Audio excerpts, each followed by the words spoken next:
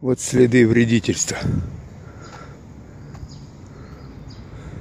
Один делает, а другой ломает. Уроды ебаные. Надо их проклинать.